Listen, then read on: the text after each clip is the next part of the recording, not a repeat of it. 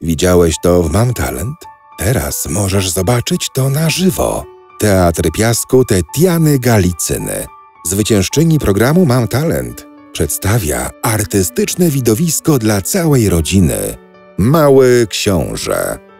Niezwykłe show, malowane piaskiem, światłem i na wodzie, połączone z grą aktorów. Przyjdź i zobacz artystyczną interpretację ponadczasowej opowieści. Zapraszamy Państwa 6 kwietnia do sali Miejskiego Centrum Kultury w Rudzie Śląskiej. Bilety dostępne na teatrpiasku.pl, e-bilet.pl, kubbilecik.pl oraz w Empikach.